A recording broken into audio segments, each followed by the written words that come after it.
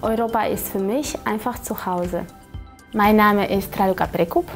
Ich arbeite bei der DB Station und Service Nürnberg, hier direkt am Hauptbahnhof.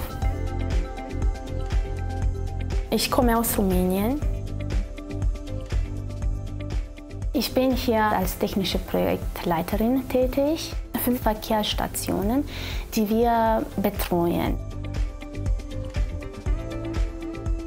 Als ich 14 Jahre war, war ich für das erste Mal außerhalb Rumäniens. In diesen drei Wochen habe ich so viele neue Länder gesehen und dann habe ich gesehen, wow, Europa ist groß.